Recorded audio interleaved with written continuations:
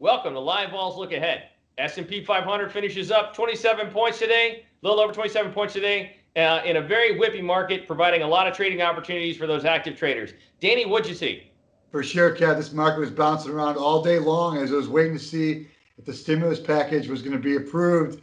But by the end of the close today, nothing as of yet. Some of those industries that are affected, like the airline industry, are really dependent on this. You want to touch on that?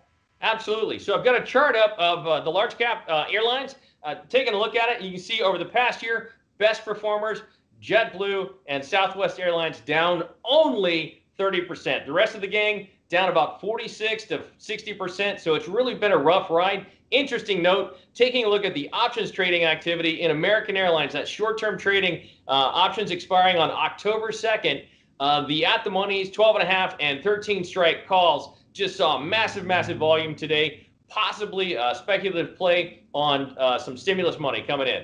That's good stuff, Kev. You know, on top of the market waiting on a stimulus deal, we've got plenty of data to keep the markets on its toes the entire week. We've got jobless claims, ISM, Fed speakers Williams, Bowman, and Harker talking. And then ending the week, we've got the unemployment report. So everybody stay safe and thanks for watching. I'm Danny Jisa. I'm Kevin Nichols. Check us out at livevol.com.